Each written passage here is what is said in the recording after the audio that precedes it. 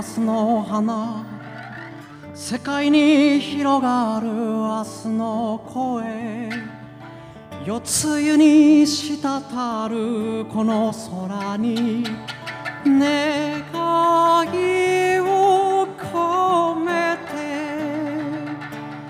てヨハスの力世界に届け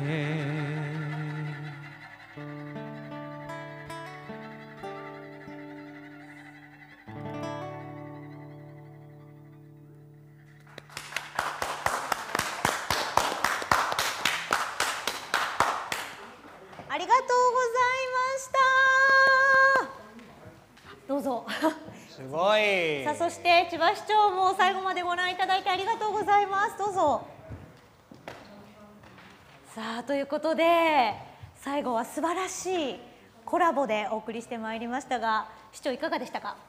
最高のパフォーマンスばっかり見させていただいて本当に見てる人たちもですね次の秋来年も楽しみになってきたんじゃないかなと私自身が思いますはいありがとうございます。さあそして工藤さん2時間お送りしてきました。いかがでしたか？あっという間ですね。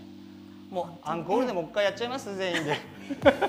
そうですね。それぐらいもうみんなの時間がないですね。熱い思いがありますが、はい、ということで、ヨハスライブオンライン2020生配信で2時間お送りしてきましたが、ご覧いただいた皆さん、いかがでしたでしょうか？えこの生配信はアーカイブされますので、ぜひこの後もゆっくりとご覧いただきたいと思います。えそして次回の開催に向けてクラウドファンディングもあのそろそろスタートということで伺っておりますのでぜひ皆さんのご協力をお願いいたします。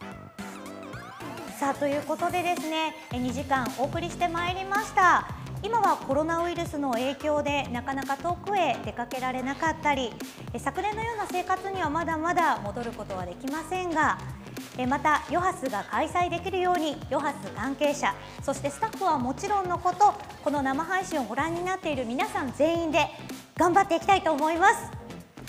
それでは皆さんまたお会いしましょう。バイバイ。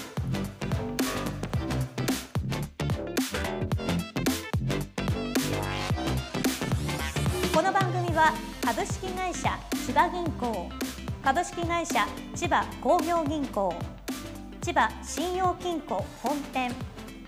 株式会社京葉銀行。日本写真判定株式会社。株式会社卓商開発。以上各社の提供でお送りいたしました。